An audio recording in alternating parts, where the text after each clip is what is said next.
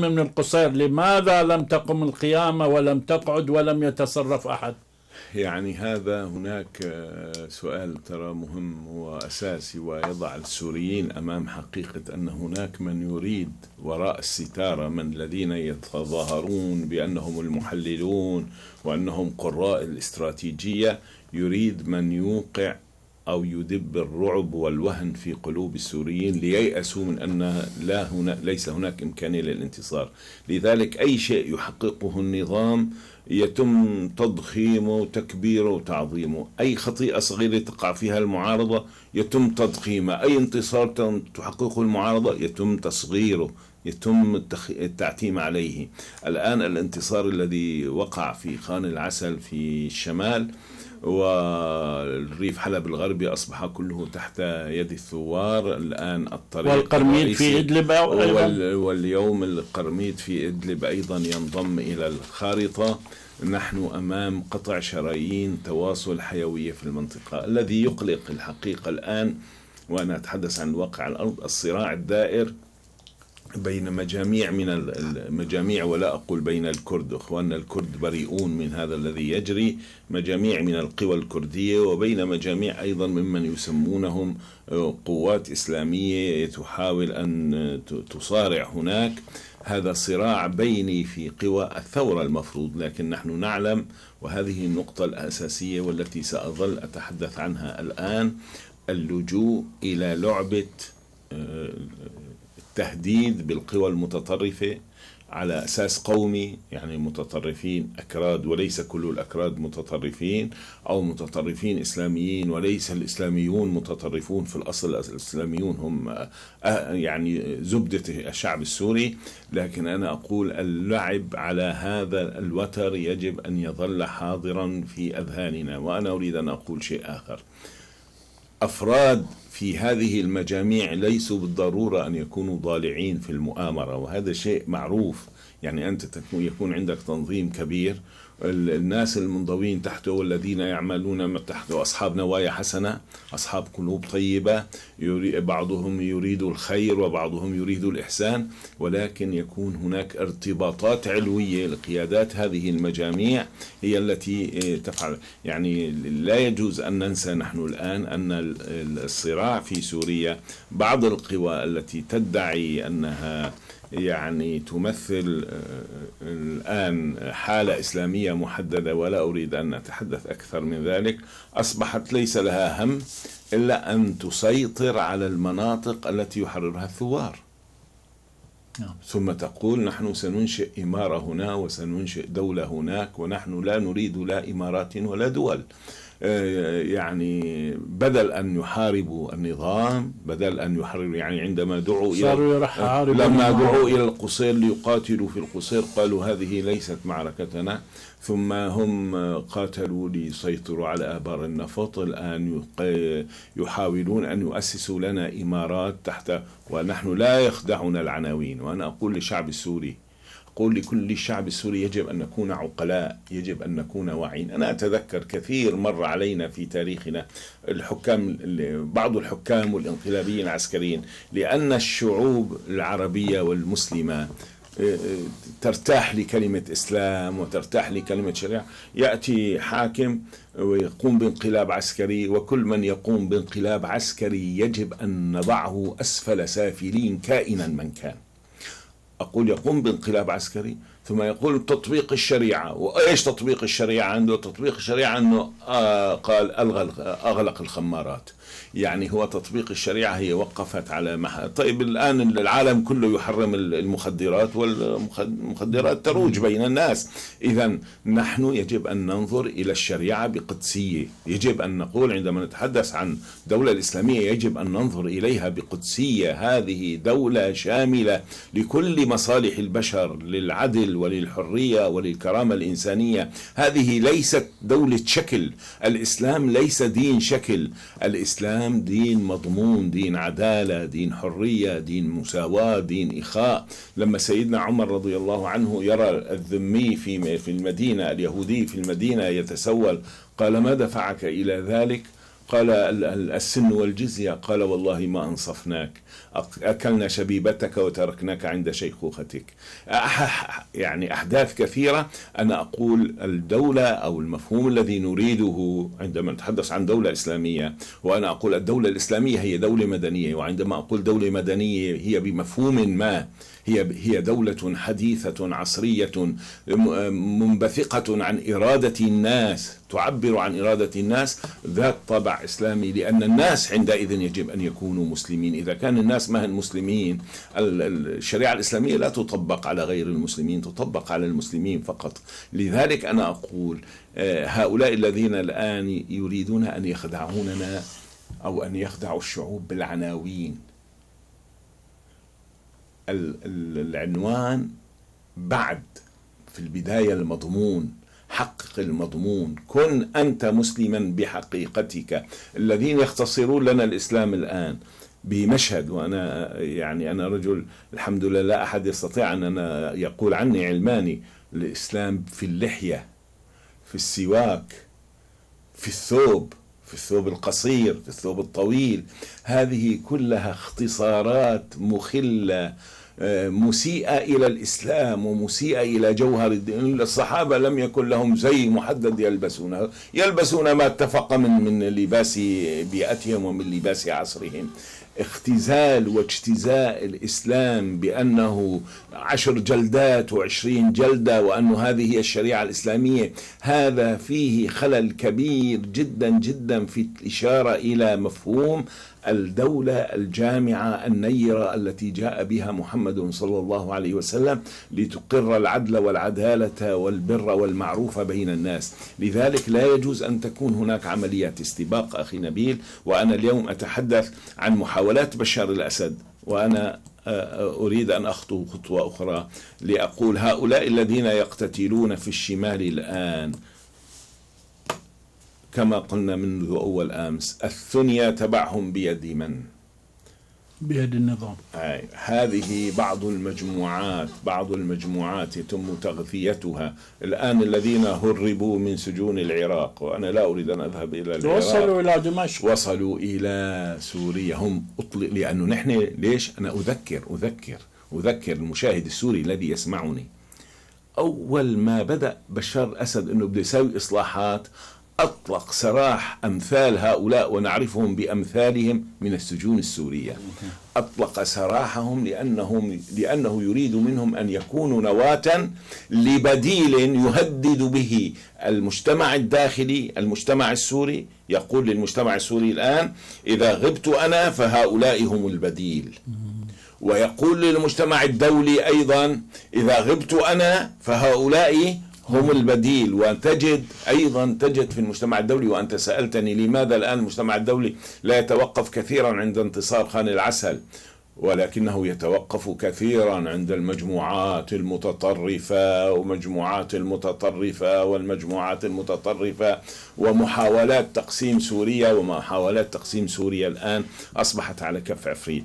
نحن نقول الجهد الأساسي لمن يريد أن يكون له دور في الحاضر وفي المستقبل هو فيما يستخلصه من يد بشار الأسد من يد هذا العدو الجاثم على الأرض السورية، هذا الذي يجب أن نعمل عليه، وإما أن بعض الناس الآن استقالوا من عملية الجهاد في مقاتلة بشار الأسد وإنما هم يتربصون بالمجاهدين حتى إذا المجاهدون حققوا نصرا هنا أو نصرا هناك الجيش الحر إذا حقق نصر إيه، ينقضون على هذا النصر. يعتبرونه جزءا من إمارتهم أو من مملكتهم وبالتالي يرى الجيش الحر نفسه بين يعني وضعين إما أن يدخل في صراع بيني كلنا نرفضه وكلنا لا نريده وإما أن يرضى بالأمر الواقع وينتقل إلى معركة أخرى إلى مصاف آخر. هذه قضية الحقيقة محرجة الآن. وقضية شائكة وتحتاج من قيادات المعارضة السياسية ومن قيادات المعارضة العسكرية إلى وقفة إلى تأمل كيف يمكن أن نلغي هؤلاء التابعين عمليا لبشار الأسد. أنا أرى واقتراحي دائما هو الحوار مع القواعد المخلصة في صفوف هؤلاء الكثير من المخلصين الكثير من أصحاب النوايا الحسنة. يجب علينا أن نعيد احتواء هؤلاء بما نقدم من بدائل. الوضع في دمشق الوضع في درعا بالأمس كان كذلك حاميا ساخنا ولكن الثورة السورية تتقدم باضطراد وبشار الأسد سيتراجع حتى يلقى اليوم الذي آه، يعني اليوم الموعود الذي وعدنا به الله سبحانه ما وتعالى. ما هو رأيك بالسيناريوهات الخمسة التي طرحها الجنرال دمسي يعني هي كما قال هو قدم خيارات للرئيس الأمريكي وقدم في الخيارات الخمسة في كل خيار ماذا يمكن أن تكون الكلفة وما هي التبعة وما هي الخطوات التالية؟ أنا هنا ممكن أن أعرض على السادة المشاهدين كنوع من التنوير السياسي. ما هي طبيعة هذه الخيارات؟ الخيار الأول وربما يكون هو الخيار الأسهل عليهم والارضى لنا نحن كسوريين. والأرخص. هو الأرخص هو الأوفر عليهم والاسهل عليهم. هو خيار تدريب وتسليح المعارضة السورية ليقوم السوريون بأنفسهم بتحرير أرضهم وتحرير بلادهم وتحقيق دولتهم التي يحلمون بها دولة العدل والديمقراطية والحياة العامة المشتركة المدنية لكل السوريين. هذا الخيار الذي الأول الذي قدمه قائد الأركان المشتركة يعني الآن يجب أن يكون هناك عمل سريع على تحقيقه. لكن هناك خيارات أخرى. آه، الخيار الثاني هو طرح خيار آه، يعني إنشاء مناطق حظر جوي لكي لا يستطيع الطيران السوري أن يقصف المدنيين ولا الصواريخ يقصف اللاجئين. ويمنع أيضا الصواريخ لأنه هذه الصواريخ سكود لها مضادات آه، يعني أرضية يمكن لها أن تتصيدها. هذا الخيار الثاني قال هو خيار مكلف آه، شكك بعض الشيء بجدواه لكن نحن أيضا ننظر إليه على أنه مكمل للخيار الأول ويمكن أن يعفينا من كثير من حركات اللجوء التي تضطر المواطنين السوريين إلى الخروج من ديارهم. بعد أن ضاق بهم فسيح العالم وشكى منهم أهلهم الأقربون في الأقطار العربية المجاورة. الخيار الثالث الذي قدمه هو أن يقوم الطيران الأمريكي أو طيران الناتو بتنفيذ هجمات جوية على نقاط منتقات يتم اختيارها من قوات أو من مرتكزات الحكم من مرتكزات النظام نظام بشار الأسد. هذا الخيار هو يقول هو مكلف في سوريا مضادات جوية سلاح جوي جيد. ويمكن أن يكلف في الشهر كما يقول هو مليار دولار وهو يقول لكن هذا الخيار يعني إذا تم اللجوء إليه قد يكون أسرع في تحقيق المطلوب الذي يسعون إليه وهو التخلص من نظام بشار. الخيار الرابع هو وهو خيار جيد لنا وطالبنا فيه منذ الأيام الأولى لكنه أيضا يقول بأنه خيار مكلف.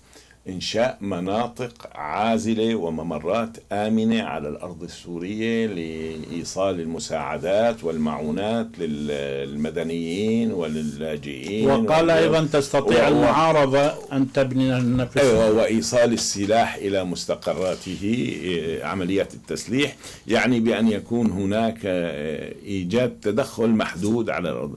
الخيار الآخر الأخير وهو أن يكون هناك تدخل شامل وأن يبدأ الجيش الأمريكي بوضع يده على مستودعات الأسلحة الكيميائية في سوريا وبالتالي طبعا هو يضع خيارات هذه يسموها نظرية الاحتمالات على الطريقة الرياضية. يقول للرئيس أوباما نستطيع أن نفعل هذا بكلفة كذا بطريقة كذا نستطيع أن نفعل هذا نستطيع أن نفعل هذا نستطيع. وبالتالي يترك للرئيس الأمريكي أن يحدد كقائد سياسي وهكذا. هذا هو دور العسكر. دور العسكر العسكري إنسان محترف ممتهن يعطيك الحساب وبوقف بنتظر الذي يقدر الآن أي الحسابات آه، أوفر وأنفع وأكثر هو السياسي هم الساسة الذين يدرسون الأمور. عندما يصبح العسكري أنا اليوم كنت معلش إذا سمحت لي أسمع للرئيس لهذا المسمى السيسي. يقول أنا قلت له للرئيس إيش لازم يحكي؟ وما حكى مثل ما قلت له طيب أنت الوصي عليه أنت اللي بدك تعلمه ولا هو اللي بده يعلمك؟ هو الشعب المصري اختار مرسي ولا اختار السيسي؟ يعني هذا المنطق المنقوض وجالس بيخاطب ناس آه، عقلاء. هذا على مذهب فرعون. فرعون الذي قال ربنا سبحانه وتعالى عليه فاستخف قومه فأطاعوه. يعني لما تشوف ناس يصفقوا له لما تشوف سياسيين مصريين الآن ما رأي حمدين صباحي لو كان هو رئيس الجمهورية؟ الآن حمدين صباحي الذي خرجت جبهة الإنقاذ تصب تصفق لهذا الدعي لو كان هو رئيس الجمهورية ويدخل عليه ضابط بالجيش وبقول له أنت عندك المسا خطاب ولازم تقول واحد اثنين ثلاثة. ما رأيه بهذه المعادلة؟ والله والله أنا لما قال أنه مرسي ما سمع لي ومرسي ما قال مما ازداد احترام مرسي في نفسي وأنا كل الناس يعرفون بأنني كنت أنتقد مرسي. وكنت أتابع مرسي وأقول مرسي يجب أضغط عليه ليفعل أكثر ولا سيما بشأن السوري. بعض الناس يستنكر علي أنه كيف كنت وكي لكل موقف سياسي وقته. نحن عندما كان مرسي في السلطة. كان من واجبنا أن نتابع وننقد ونضغط وننصح ونقول نعم ونقول لا لأننا آه، يعني آه، محضر الخير. نحن لسنا أتباعا لمرسي. نعم. لسنا أتباعا لأحد. لا يجوز لإنسان مسلم أن يكون تابعا ذليلا لأحد. وإنما الآن مرسي في قبضة ظالم غاشم مستبد يعدو عليه. يجب أيضا أن نكون في موطن الدفاع عن مرسي وعن الحق ليس عن مرسي كشخص وإنما عن الحق وعن الشرعية التي يمثلها مرسي. هذا الذي يقول أنا قلت له وهو لم يسمع لي. هو الذي يجب أن يقول لك فتسمع له وليس العكس أن تقول أنا قلت له ولم يسمع لي. هذا المنطق المنقوض المعكوس الذي يعمل عليه هؤلاء الناس. لذلك أنا أقول الآن آه، رئيس هيئة الأركان المشتركة قدم الخيارات. قائد عسكري كبير الجيش الأمريكي ليس له علاقة بالسياسة.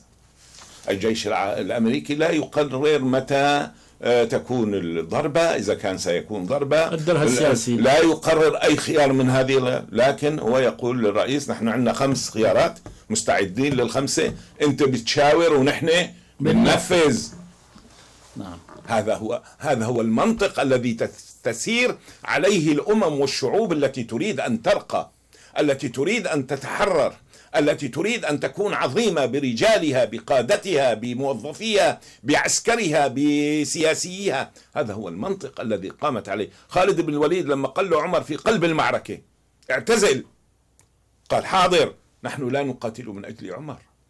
سلم جاء إلى سيدنا أبو عبيدة وكل شيء بيده وهو قائد. سيدنا خالد الذي الآن هؤلاء الاوغاد يقصفون ضريحه في قلب المعركة في أوج المعركة.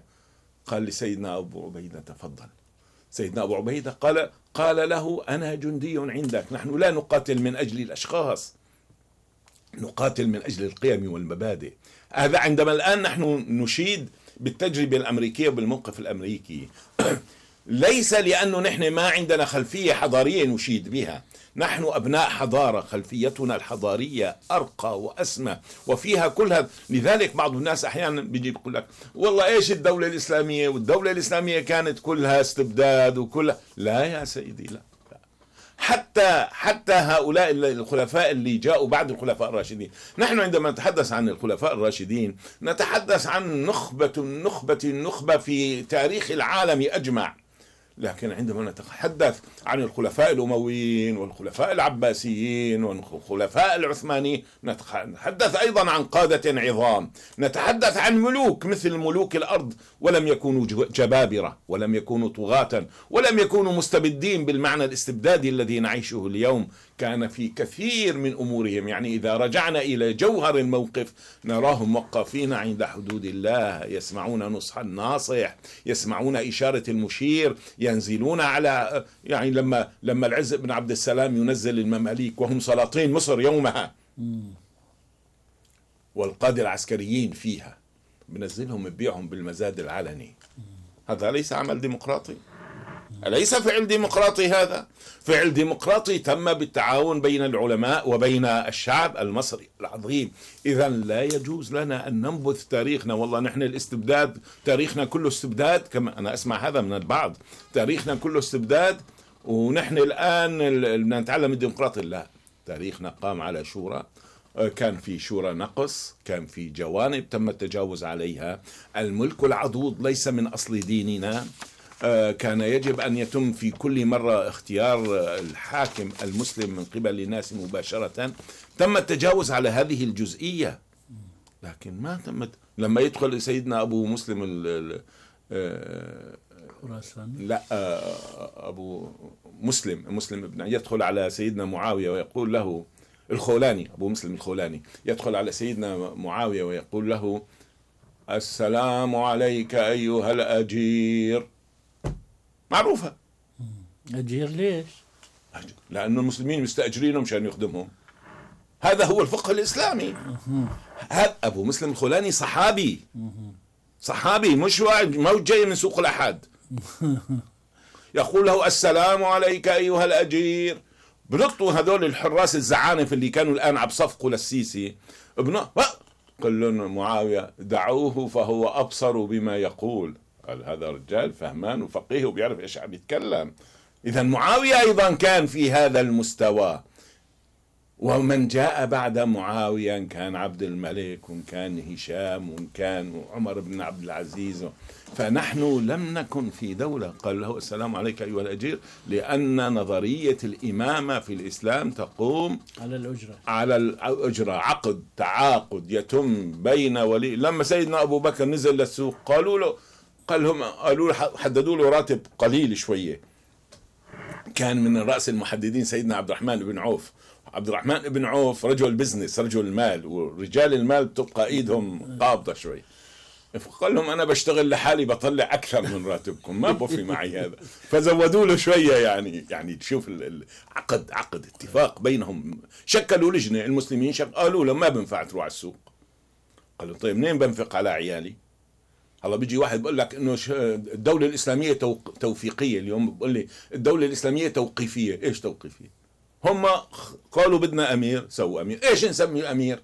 ما يعرفوا إيش يسموا الأمير، المسلمين بعد وفاة الرسول صلى الله عليه وسلم، الرسول صلى الله عليه وسلم آه، يعني تشريعا منه وليس لا غفلة ولا نسيانا ولا تقصيرا حاشاه. ترك لهم أن كل الخيارات مفتوحة. اجتمعوا في سقيفة بني ساعدة اختاروا في سقيفة بني ساعدة. قالوا إيش نسميه؟ ما عندهم اسم. الآن يجي اللي بعض الناس يسميك مش كلمة خليفة ويقول كلمة خلافة. وخليفة يعني هي جذع الدين. طيب لما المسلمين ما ماذا يسمون أبو بكر؟ ماذا؟ قالوا ذهب رسول الله وهذا خلف رسول الله فهو خليفة رسول الله فأطلقوا عليه خليفة.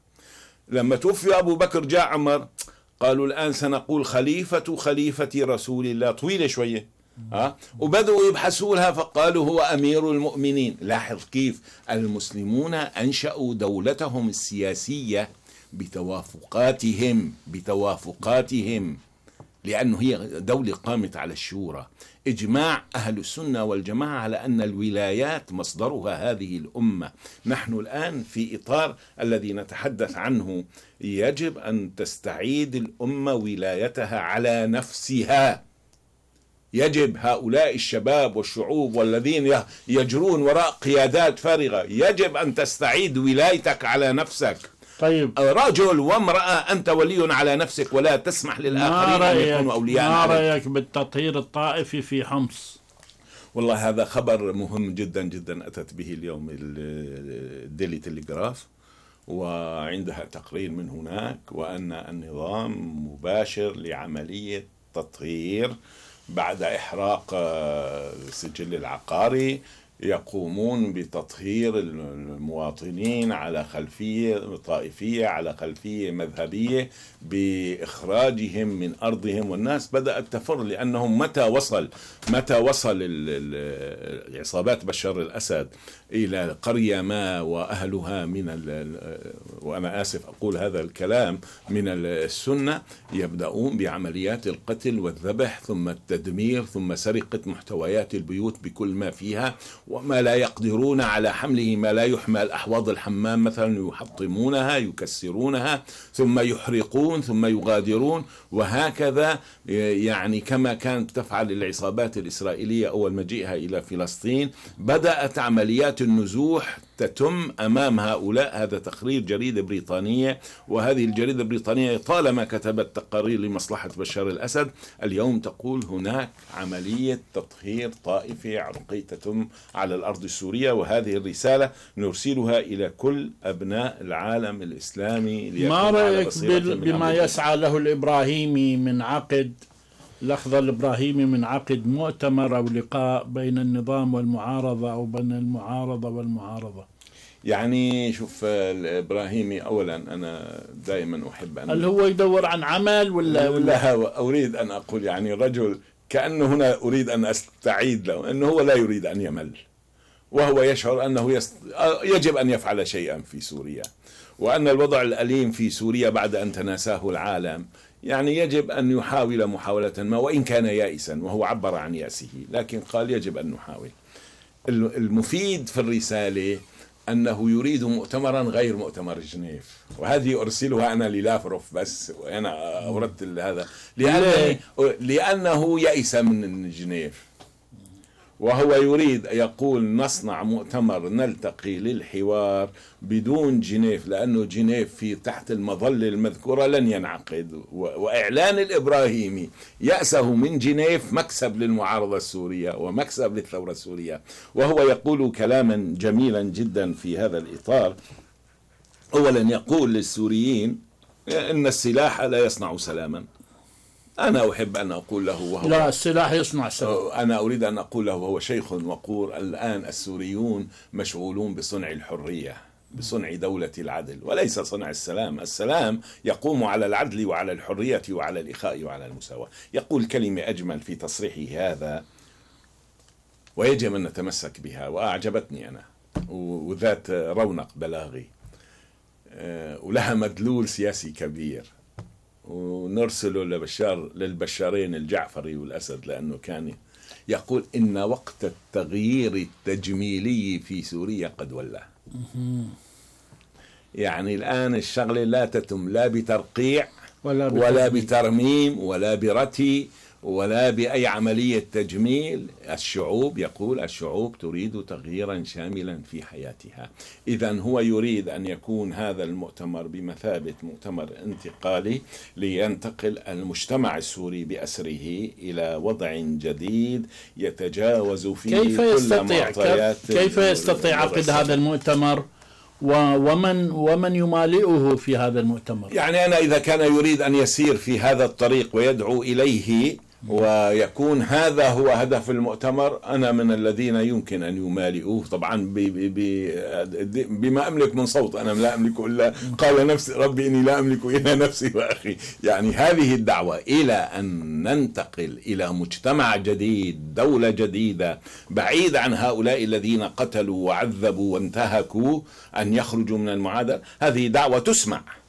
هذه دعوة يمكن أن يسمعها الشعب السوري. طبعا شرط الآن آه، دائما عندك طرفين في المعادلة أن يكون بشار الأسد مستعد ليسمع مثل هذا الكلام فينسحب هو وأراضي ماذا تقول فيما طرحه المندوب السعودي في مجلس الأمن الذي يقول أن الأزمة السورية وصمة عار في جبين الإنسانية؟ يعني هو تحدث عن أبعاد الأزمة الإنسانية على الأرض السورية حجم القتل حجم الأطفال الذين قتلوا في سياق هذه الأزمة الآن ستة ألاف طفل تحت سن العاشرة. آه، هناك حالة دمار رهيب ثلثي العمران السوري قد تدمر. الجوع يضرب أطنابه في الأرض السورية. اللاجئون يملؤون العالم في الأرض السورية.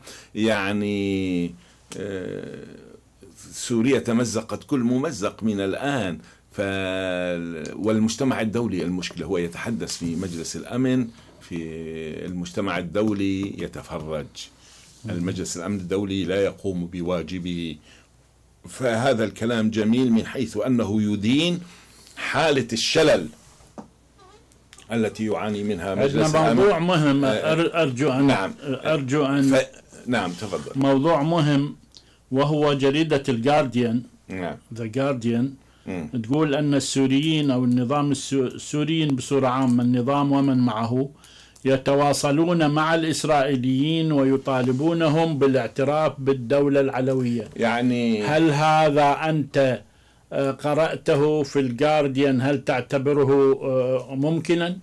آه الخبر وارد في الجريدة كتحقيق وليس كخبر. نعم. كتحقيق هو له كتاب ويقولون بأن هناك آه، كاتبان اشترك فيه رجل وامرأة في هذا التحقيق والمعلومات لديهم من إسرائيل أن هناك أشخاص سوريين تابعين لبشار الأسد ينشئون تواصل مع قوى إسرائيلية نافذة يعني مع الحكومة الإسرائيلية. للاعتراف بالدولة العلوية. ويمهدون طيب معهم اعلنوها. الدولة العلوية يمهدون معهم الحديث. لا هم يريدون أن يكسبوا الأنصار. هذا طريقة الإعداد السياسي يعني هذول المساكين اللي آه، أحياناً نعترف بها الدولة يخرجوا. فهم يريدون فهم يريدون ي- يعني يأخذوا ضمانه من أن إسرائيل لن تعارض وأن إسرائيل اولا لن تعارض ثم تؤيد وبالتالي وت- وتأييد إسرائيل قد يعني له آه، تعدي إلى الآخرين. يعني إذا وافقت إسرائيل ممكن توافق أمريكا إذا وافقت أمريكا يمكن توافق أوروبا.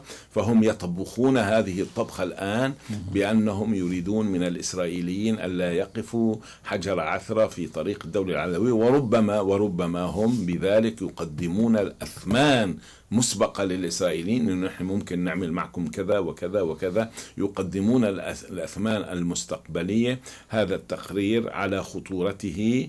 نحن نقول الدولة العلوية أو أي دولة أي دولة تقوم على الجغرافيا شو أي السورية. دولة؟ أ- أ- يعني أي دولة يريدها بشار توافقوا له؟ أكمل أكمل. أي دولة يفكر بها البعض على الجغرافيا السورية غير الدولة السورية الموحدة الجامعة حلم إبليس في الجنة. لن يكون هناك إلا الدولة السورية الجامعة بالعدل والحرية والكرامة لكل السوريين وكل هذه الأحلام هي أضغاث أحلام وسيدفع أصحابها ثمن تآمرهم على هذا نوع من أنواع الخيانة الوطنية. نحن نصنفها في إطار الخيانة الوطنية. الجسم السوري سوريا الآن أنا أرى أن سوريا الآن هي في حالة شبابها وعنفوانها وليست كما يتصور البعض بقرة قد وقعت وكل واحد حامل سكينه وجاي يقطع منها شلو ويقطع منها قطعة سوريا لن تمزق سوريا لن تقطع سوريا لن تقسم ستكون سوريا الصخرة الصلبة الراسية إذا هو قطعها بشار الأسد أنت شو شو لا. يعني؟ لا لن بشار. لا بشار ولا بشور ولا نشور لا أحد يستطيع أن ينال ذره تراب من الأرض السورية. يجب على. هؤلاء المتآمرين أن يتوقفوا عن عمليات التآمر هذه وسيكون الشعب السوري بكل قواه إن شاء الله بالمرصاد البيت الأبيض. يطالب بتسريع تسليم السلاح للمقاومة أو للمعارضة السورية. يعني هذا جاي كارنيك البارحة كان له تصريح وهو الآن على ضوء ما حصل من تطورات على المستويين مستوى ال- الكونغرس حيث أن الكونغرس تفهم إمكانية آه، تزويد ال- المعارضة السورية بالسلاح بعد أن كان يشكل عائقا وعلى ضوء التقارير التي قدمها رئيس هيئة الأركان. آه، يتحدثون عن أن يجب أن تحسم الأمور في سوريا لأنه استمرار عملية القتل سوف يؤدي إلى المزيد من الدمار ولذلك يجب أن تكون هناك عملية تسريع. آه، بعضهم نحن الآن مثلا في أواخر آه، شهر يوليو في أواخر شهر آه، تموز يقول في شهر آب بأقصى تقدير يجب أن تصل الأسلحة النوعية الموعودة إلى الشعب السوري. طيب. ميقاتي وبشار الأسد يدينان وضع حزب الله. على الإرهاب يعني أنا أتفهم أنه بشار الأسد يدين وضع حزب الله على بس ميقاتي. الرهن. أما ميقاتي رئيس الحكومة المنصرفة في لبنان أو المستقيلة والتي تقوم الآن بتصريف الأعمال ليه؟ والذي يجب عليه أن يمثل أن يمثل قومه في لبنان والذي لم يجرؤ على أن يدين تدخل حزب الله في الأرض السورية ذبحا وقتلا وتدميرا يخرج علينا بهذه الإدانة ويقول بأنه سوف يعمل مع المجتمع الأوروبي والمجتمع الدولي لوقف وضع هذه اللائحة. يعني هذا الموقف لا يمكن لا يمكن أن يفهم. لا يمكن أن يفهم من مواطن سوري مثلي. المواطن السوري هو مواطن لبناني في نفس الوقت. نحن ننظر إلى ميقات وميقات حسب حسب التركيبه اللبنانيه يجب عليه أن يمثل الناس الذين آه، أفرز لتمثيلهم صحيح هو يمثل الدولة اللبنانية ولكنه في نفس الوقت محسوب. ام أما أن الآن أن يصف إلى جانب القتلة الذين قتلوا رفيق الحريري ألم يعلم ميقاتي بأن التهمه وهو الذي على في عهد حكومته لم يستطع أن يسلم المطلوبين المتهمين من قبل لجنة التحقيق الدولية التابعين لحزب الله. لم يستطع تسليمه لأنه حزب الله كان أكبر منه وأكبر من حكومته وأكبر من الجمهورية اللبنانية ولم يستطيعوا أن يسلموا متهمين في جريمة قتل. الآن يقف ليعلن انحيازه إلى آه، أو رفضه لتصنيف هذا الحزب على قائمة آه، الإرهاب الدولية ورغم كل ما يفعله هذا الحزب اليوم على الأرض السورية ليس فقط في حمص والقصير وإنما في حلب وفي درعا وفي ريف دمشق. الأهم من ذلك الآن وحكومة الميقاتي أيضا يعني الآن أخي نبيل في الوضع الإنساني يعني نحن عندما نبلع قضية حدود بين سوريا ولبنان ودولتين وعلمين وسفارتين نبلعها. لكن الآن لما يأتي إنسان سوري في هذا الظرف ويذهب إلى لبنان آه، مستجيرا من نار تحرق في سوريا. والأصل كان في يوم من الأيام يأتي اللبناني إلى سوريا ولم يكن أحد يستنكر عليه. فبعض السوريين بعض السوريين الآن مثلا سواله بسطة بيع فلافل في لبنان أو مطعم صغير في لبنان آه، أو ورشة صغيرة يحسن العمل بها في لبنان لكي يستر نفسه وعياله ولكي لا يمد يده للناس يد الحاجة. الآن البارحة كان ميقاتي مع حكومته مع الأسف يقولون بأن هذا يضيق الرزق على اللبنانيين. متى كنا نؤمن نحن بأن نحن بقول رزق الإنسان على الإنسان ورزق الكل على رب العباد رزق الكل على الله سبحانه. فاليوم في هناك قرار من الحكومة اللبنانية العتيدة حكومة ميقاتي أن تقول بأن قال ممكن السوريين يعملوا بالورشات يعني بالخدمة بصب الباتون بكذا. أما أنه يساووا مطعم صغير أو محل حلاقة صغير أو ورشة صغير هذا لا يمكن للسوريين وبالتالي ميقاتي الآن يبادر يبادر إلى أخذ قرار بأنه آه، عمل السوريين في هذه الميادين إنما يحتاج إلى ما رأيك بالسفير الإسرائيلي في الأمم المتحدة الذي يقول الأسلحة الكيميائية التي لدى الأسد تثبت أنه يعمل كل شيء من أجل البقاء في السلطة يعني هذا التصريح أخي نبيل مهم وهو الذي يمكن يكشف سر أنت لما امبارح أول امبارح سألتني سؤال مهم. قلت لي ما هو السر الآن الأمريكان؟ آه، تشجعوا ليأخذوا موقف من سوريا. قلت لك يعني لابد أن وراء الأكمة ما نعم. وراءها. الآن أنا أقول مثل هذا الكلام الخطير السفير الإسرائيلي آه، يقول في الأمم المتحدة يقول بأنه الآن بشار الأسد عنده أسلحة كيميائية بكل تأكيد وقد ثبت أنه مستعد لفعل كل شيء ليتشبث بالسلطة. يعني بشار الأسد عندما يشعر بالخطر الحقيقي وأن الحبل قد زم على عنقه يمكن أن يستخدم هذه هذا السلاح في كل الاتجاهات وبأي طريقة. وهذا إنذار وتحذير من السفير الإسرائيلي للأمم المتحدة وللمجتمع الدولي. والآن أو ربما يكون هذا بعض السبب الذي يجعل الأمريكان يقولون يجب أن نستعجل ويجعل دومسي يقدم الخيارات لأن الإسرائيليين باتوا متخوفين من أن يقوم بشار الأسد باستخدام هذه الأسلحة في لحظة يأس ضدهم.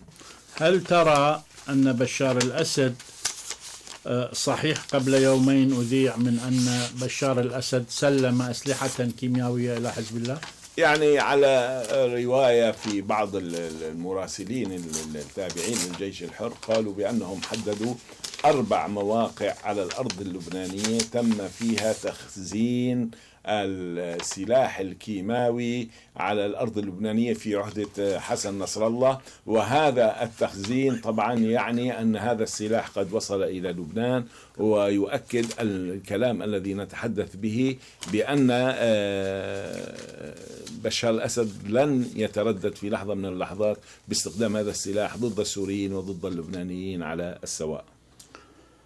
آه، ما رأيك بأن لافروف سوف يرفض تقديم قرض إلى سوريا؟ يعني بكون خاف على ماله لأنه قد إذا رفض وهو قدر جميل كان هناك وإذا رفض دليل على أن بشار الأسد لن يبقى. يعني هو يعني روسيا تبقى دولة لها حساباتها الاقتصادية لها حساباتها الاستراتيجية. نحن هل يستطيع لافروف إقناع بوتين بأنه يعطون إلى بشار الأسد. يعني القضية تتوقف البنوك البنوك والأشخاص الربويين إذا صحت العبارة.